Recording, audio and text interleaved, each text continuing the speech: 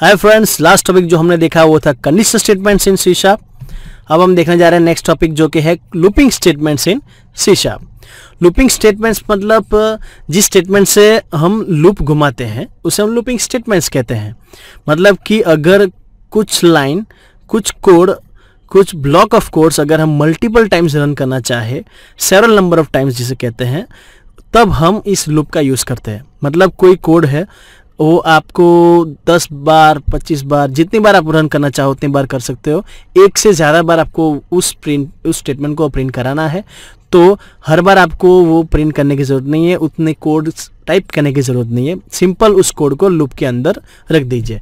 हमारे पास चार लूप्स है फॉर वाइल टू वाइल और फॉर इच जो कि शीशा में नहीं ऐड की गई है। फाइन तो ये जो चार लूप हैं, वो इन चारों में से आप कोई भी यूज़ कर सकते हैं। ये फ्लो चार्ट है। ये ये समझाता है कि सपोज़ ये कंडीशन होती है एक लूप में। अगर वो कंडीशन ट्रू होती है तो ये कंडीशन जो कोड है, वो एक लाइन या दस लाइन चाहे जितने भी लाइन का हो, वो सारे रन होंगे प्रिंट होंगे, जो भी होगा, और उसके बाद फिर से ये कंडीशन चेक करेंगे। और अगर फिर से ट्रू होता है तो फिर से ये रन होगा। मतलब जब तक कंडीशन फॉल्स नहीं होती, ये लूप से बाहर नहीं आएगा, तब तक ये लूप के अंदर घूमता ही रहेगा, घूमता ही रहेगा। फाइन मतलब एक लाइन दस बार पच्चीस बार जितने भी आप रन करना चाहते हो एक से ज़्यादा तब आपको ये चार में से कोई भी लूप का यूज़ करना है फाइन पहली है first statement first statement is उसे रिपीटेशन कंट्रोल भी कहते हैं स्ट्रक्चर मतलब रिपीटेशन मतलब एक लाइन का मल्टीपल टाइम्स यूज़ होना उसे हम रिपीटेशन कहते हैं। तो वो हमें कंट्रोल करना है मतलब जो अगर लूप स्टार्ट होती है तो उसे ख़त्म भी होना है फाइन तो लूप ख़त्म होना ज़रूरी है, वरना वो लूप इन्फाइनाइट में चली जाएगी मतलब इन्फाइनाइट टाइम्स वो प्रिंट होता ही रहेगा, वो स्टॉप ही नहीं होगा। तो पर्टिकुलर मान लो कोई पर्टिकुलर लाइंस ऑफ़ कोड है जिसे आपको स्पेसिफिक नंबर ऑफ़ टाइम्स घुमाना है मतलब चाहो इतनी बार आपको घुमाना है तो उससे आपको इस लूप के अंदर रखना पड़ेगा। ये फॉर लूप का सिंटेक्स है और ये उसका फ्लो चार्ट पहले सिंटेक्स समझते हैं। सिंटेक्स के अंदर आप देखिए फॉर के अंदर तीन ब्लॉक है। पहला है इनिशियलाइजेशन दूसरा है कंडीशन और तीसरा है इंक्रीमेंट इनिशियलाइजेशन में आपको लूप कहाँ से शुरू करनी है, वो बोलना है। कंडीशन में आपको लूप कहाँ तक लेके जाने मतलब कहाँ ख़त्म करनी है? वो आपको यहाँ बोलना है कंडीशन में। और तीसरा है इंक्रीमेंट या डिक्रीमेंट दोनों आप, दोनों में से जो भी आप लेना चाहो। इंक्रीमेंट डिक्रीमेंट क्यों? दोनों में से देखिए सपोज़ फॉर एग्ज़ाम्पल आपने लूप ली है, चलो वन टू टेन प्रिंट करनी है तो मतलब एक जो स्टेटमेंट्स है वो दस बार आपको प्रिंट कराना है। तो आपको दस बार लूप घुमानी है। तो वन जो यहाँ लिखेंगे, वो इसे हम कहेंगे इनिशलाइजेशन मतलब लूप वन से शुरू करनी है और कहाँ तक लेके जानी है? दस तक। तो कंडीशन में हम लास्ट टेन रखेंगे और वन से टेन तक जाना है मतलब ये दस बार लूप घूमेगी।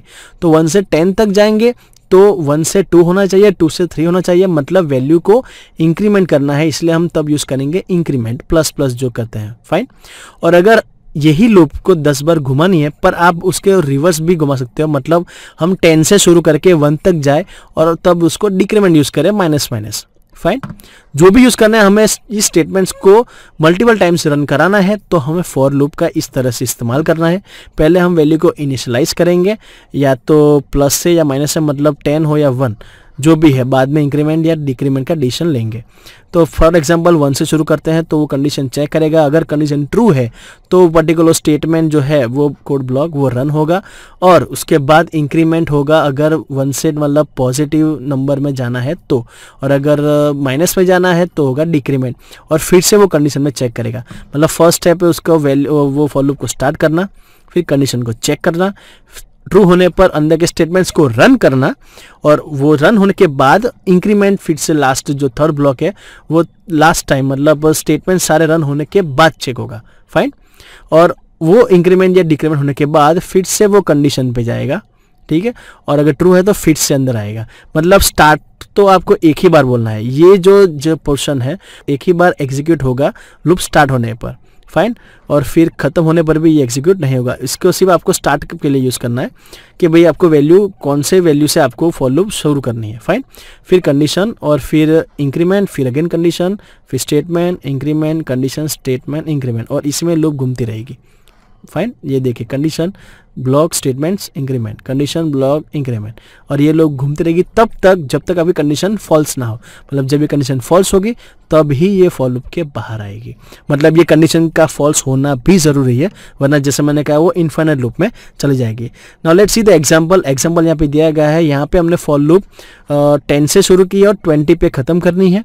और टेन टू ट्वेंटी तक जाना है तो ऑफकोर्स आपको इंक्रीमेंट ही करना पड़ेगा। ये फुल फॉर्म में A gold A plus one या आप शॉर्ट फॉर्म जैसे कि शॉर्ट हैंड है ऑपरेटर प्लस प्लस वो यूज़ कर सकते हो तो आप यहाँ पे लिख सकते हैं A plus plus B fine और इस लाइन को जो पर्टिकुलर स्टेटमेंट है, वो दस या बीस बार एग्जीक्यूट होगा बेस्ड ऑन दी आपकी वैल्यू जो ली है फाइन तो यहाँ पे टेन से शुरू किया है ट्वेंटी तक ख़त्म करना है। और उसका जब रन करेंगे तो आउटपुट ऐसा दिया गया है कि पर्टिकुलर ए वैल्यू टेन है ten is less than twenty check करेगा ट्रू है मतलब जो वैल्यू ऑफ़ ए है वो प्रिंट करेगा। Then plus plus then eleven eleven less than twenty वो फिर से ट्रू होगा, इसलिए अंदर वाली लाइन फिर से एग्जीक्यूट होगी। तो ग्यारह, बारह, तेरह, चौदह, पंद्रह, सोलह, सत्रह अट्ठारह उन्नीस। जैसी वैल्यू उन्नीस प्रिंट होती है लास्ट फिर से इंक्रीमेंट होगा ट्वेंटी होगा, फिर चेक करेगा ट्वेंटी लेस देन ट्वेंटी ये फॉल्स होगा। इसलिए ये फॉल्स होने पर ये फॉल लूप से बाहर आ जाएगा। फाइन अब इसको प्रैक्टिकली एग्जीक्यूट करके देख ये देखिए, यहाँ पे कोड रेडी किया गया है। ए की वैल्यू टेन है ट्वेंटी पे ख़त्म करना है और ए को डे प्लस वन इंक्रीमेंट करते हैं और वैल्यू प्रिंट होती है कि नहीं? लेट्स सी द आउटपुट देखिए, जो हमने वहाँ पे शो किया था, वो यहाँ पे एग्जैक्ट आंसर ऐसा ही है। Ten eleven up to nineteen तक जाता है। फाइन और जैसे मैंने कहा ए को ए प्लस वन के बदले आप शॉर्ट फॉर्म जो है, वो डायरेक्टली आप ए प्लस प्लस भी यूज़ कर सकते हो। ओके और वही आंसर आएगा कोई चेंज नहीं होगा प्लस प्लस तो हो। गई फाइन और जैसा मैंने कहा कि ज़रूरी नहीं है कि यहाँ पे इंक्रीमेंट ही यूज़ होना चाहिए, आप डिक्रीमेंट भी यूज़ कर सकते हो, पर उसके लिए फिर वैल्यूज़ को रिवर्स करनी है। तो मान लो आपको बीस बारी घुमानी थी तो हम यहाँ पे ट्वेंटी से शुरू करेंगे, और एक को ग्रेटर देन ट्वेंटी नहीं, पर टेन करेंगे तो रिवर्स आएगी तो अगर हम ट्वेंटी से लूप शुरू करते हैं और टेन तक जाते हैं तो ऑफकोर्स हमें इंक्रीमेंट नहीं डिक्रीमेंट यूज़ करना है। अगर हम इंक्रीमेंट यूज़ करते हैं तो ऑफकोर्स वो इन्फाइनाइट लूप में चली जाएगी। फाइन मतलब ट्वेंटी का ट्वेंटी वन होगा ट्वेंटी टू होगा एंड इट गोज ऑन वो टेन होगा ही नहीं। तो फॉल्स कैसे होगा और, और अगर कंडीशन फॉल्स नहीं होती तो लूप खत्म कैसे होगी? फाइन तो तब उससे डिक्रीमेंट करना ज़रूरी हो जाता है। फाइन तो अब हम ट्वेंटी का अब नाइनटीन होगा नाइनटीन का eighteen seventeen and it goes on और फिर टेन होगा और टेन से फिर वो फॉल्स होके लूप खत्म होगी।